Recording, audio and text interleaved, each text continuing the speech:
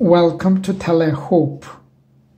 Almost everyone feels that their own opinions are good ones. Otherwise, they wouldn't be sharing them with us.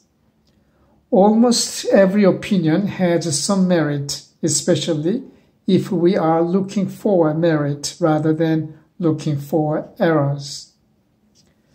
The next time someone offers you an opinion, rather than judge or criticize it, see if you can find a grain of truth in what the person is saying.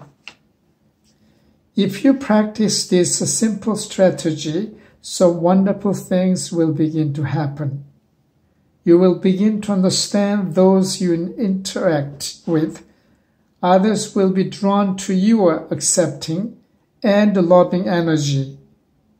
Your learning curve will be enhanced.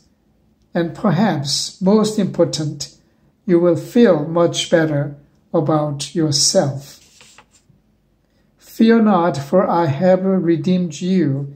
I have called you by name. You are mine. Isaiah 43 1. Help us to be patient with each other. Amen.